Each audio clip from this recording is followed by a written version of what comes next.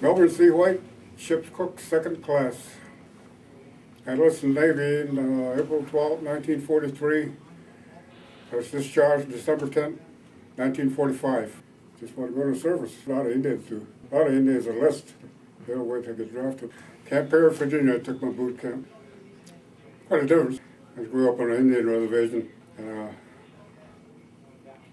it was an adventure to me. I was young, 17. So it was kind of, it was kind of fun to me. Oh, we had a lot of drilling and stuff like that. Mostly drilling, instructions. and later on, I volunteered for Cooks and Baker School. Should never volunteer. That was it there. Then we went to Quonset Point, Rhode Island. From there, we went to Camp Park, California.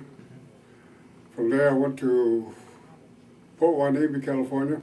All that time I was working at the kid, uh, in the galley, they call it. That's my job.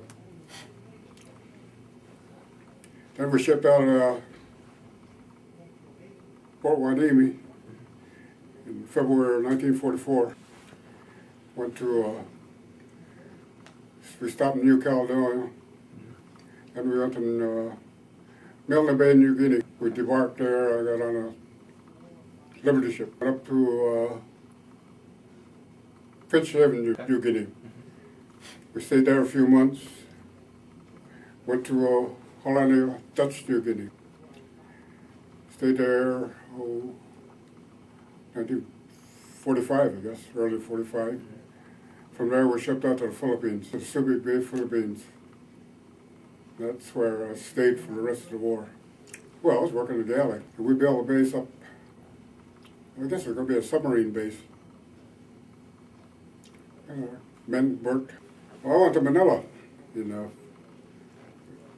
it was uh, unauthorized.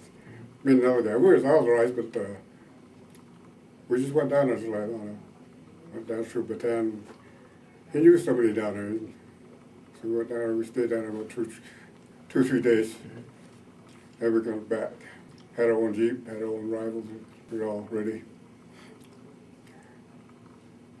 That was an experience for me.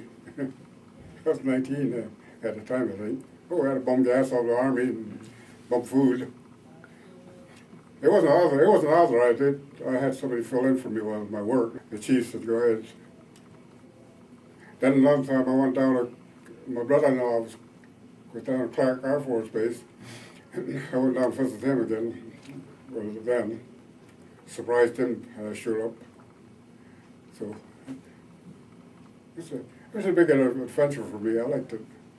I never shot at anybody, and nobody shot at me. So I sent me home. That was in December, or no, November 45.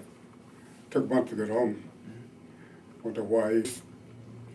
We stopped there on the way back in 1945. And, uh, we had a we had a marine greens on, marine shoes. We didn't have no uniform. So they wouldn't let us off the ship. Yeah, the war's over here. Then we went to uh, Panama. We got a, we got a base liberty there. So come back to Panama up to, up to Norfolk. Went to Sampson, got discharged.